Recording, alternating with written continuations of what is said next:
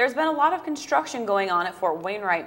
Many projects have been started to better accommodate the growing number of soldiers and families. This week we talk about the new and large Express for our military report. The new 24-hour Express Class 6 opened its doors earlier this month and is located at 4058 Gaffney Road. The new center spoke to the AAFES management during construction. They said this space would be double the space previously seen. The current facilities that we have are small and they're not big enough to meet our customers' needs.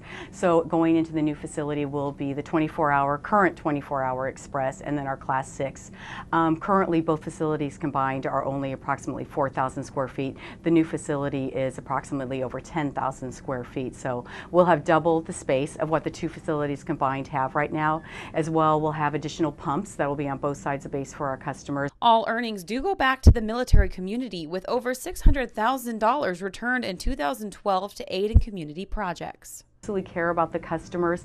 Um, the money that you put into the exchange is helping to build this. Um, last year MWR donations were over 300,000 so that is helping to build the new express and the total cost to the exchange to build this for our customers is over $8 million.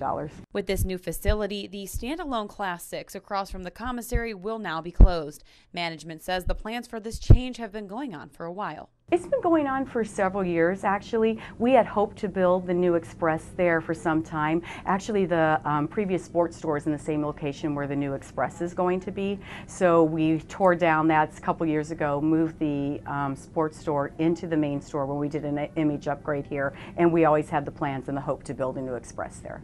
The Military Report is brought to you by Stanley Nissan. Innovation for all.